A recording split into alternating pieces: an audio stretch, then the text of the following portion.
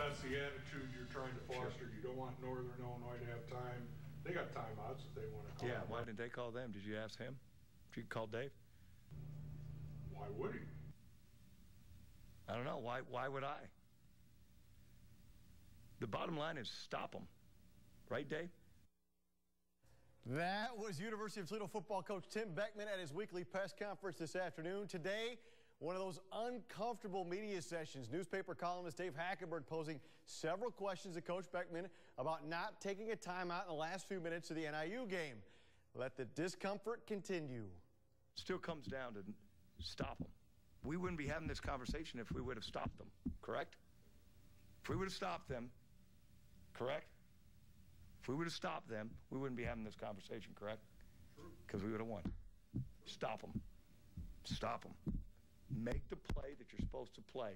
Don't jump off sides during the series.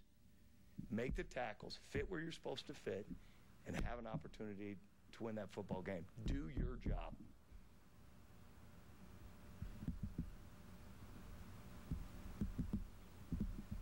Thank goodness it's a game and it's not life where you can't say timeout in life.